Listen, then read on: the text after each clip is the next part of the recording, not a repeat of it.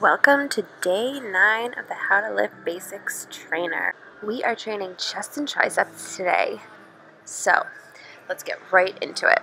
On the written workout guide, I have incline chest press as the first exercise, which this is not. But since the incline chest press is really similar to the flat bench press, I am not showing it in this video.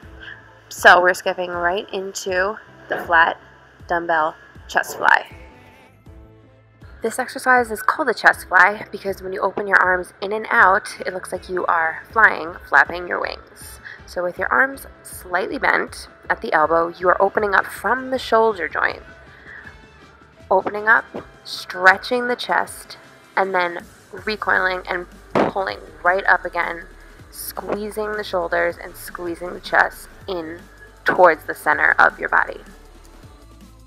I like to think about drawing a big semicircle with my hands with the dumbbells, drawing an open, a nice wide, big semicircle, and then drawing that same line up and in. I really squeeze my chest all the way to the top of the movement, but I don't rest at the top like usual. I squeeze and then go right back down into it. The next exercise we are doing is for triceps, and these are tricep kickbacks. So this form that I am in right now should look pretty familiar. My hips are back, my back is flat, and my chest is out strong. So to start this movement, I'm keeping my arm super close to my rib cage, squeezing through the back of my arm, drawing a straight line back and up with the dumbbell, and then drawing that same line forward and down. So pushing back and up and then forward and down. You can really isolate each tricep muscle on each arm really well in this exercise. And the better that your upper arm is parallel to the ground, the more of a contraction you can get in your tricep and the more intensely it'll hit that muscle. So if you find your upper arm is almost all of a sudden perpendicular to the ground, you know you're not doing it right.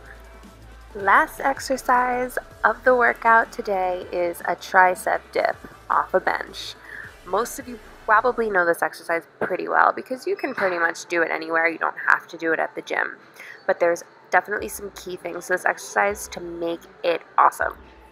First of all, the straighter your legs are, the more challenging the workout is. Either way, you want to keep your back and your butt close to the bench. So if you find all of a sudden your back and your butt are way far and forward in front of the bench and your arms are way far behind you, you gotta back it up. So keeping your chest up and your shoulders back, you're going to bend your arms at the elbows. Elbows go straight back behind you, keeping your back nice and close to the bench. As you come down, you want to hit a 90 degree angle in the elbow before you push back up. And again, you're squeezing the back of your arms through your triceps. So, pretty basic movements for the chest and triceps today, but they are so effective. Really go and practice your technique. Listen to my descriptions. I am going to write my description for the incline barbell bench press on the workout guide so you will know my cues just so you have that information. So I hope you're finding some value in this How to Lift Basics trainer and give this video a thumbs up if you liked it. Please subscribe to my channel if you haven't already and I will see you guys in the next video.